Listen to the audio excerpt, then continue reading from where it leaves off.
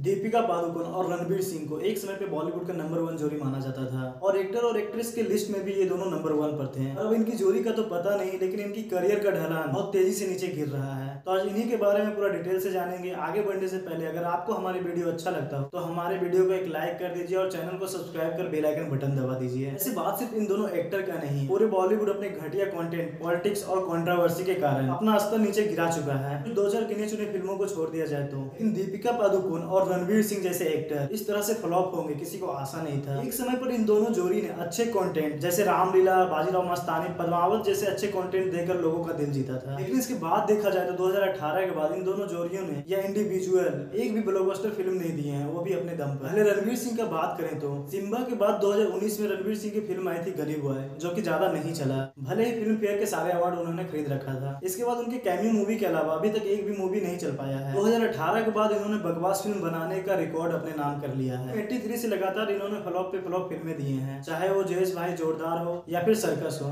अब दीपिका पादुकोण, इसके बारे में क्या ही कहें? एक समय पर दीपिका का जलवा पूरे बॉलीवुड पे छाया हुआ था। लेकिन पद्मावत के बाद दीपिका ने एक भी अभी तक हिट फ़िल्म नहीं दी है। 2018 के बाद इन्होंने छपाक 83 जैसे फ़िल्मों को तो डुबाया ही है। साथ में गहराइया फ़िल्म में जो इन्होंने रायता फैलाया है, वो अभी तक समेटा नहीं जा रहा है इनसे। आपको क्या लगता है, इन दोनों जैसे बड़े एक्टर या फिर बॉलीवुड को आप क्या संदेश देना चाहते हैं? अपनी राय कमेंट बॉक्स में लिखें। इस तरह के छोटी वीडियो में ज़्यादा जानकारी के लिए हमारे चैनल को सब्सक्राइब कर वीडियो को लाइक कर दें।